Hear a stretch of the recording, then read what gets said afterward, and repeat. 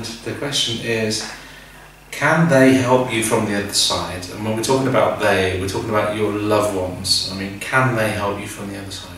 I have had quite a few people coming when they wanted to contact uh, father and mother is ill, and they, the, the, the spirit world can actually say that they know that mother is ill and they want to give her as much energy and help and love as they can, mm. and it comes in the sitting. Mm. So.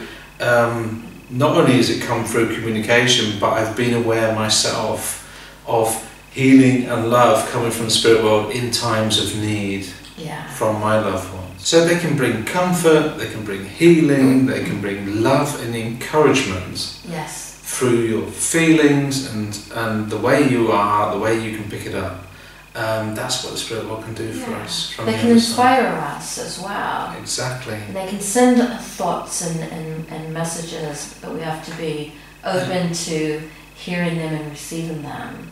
And it's, I'm glad you said that, inspire us, because the spirit world can um, cross your mind with an idea that something is good that you should try it or do it. Yeah. And it can be a split second that's almost you've got the feeling of, oh, didn't I have a good idea?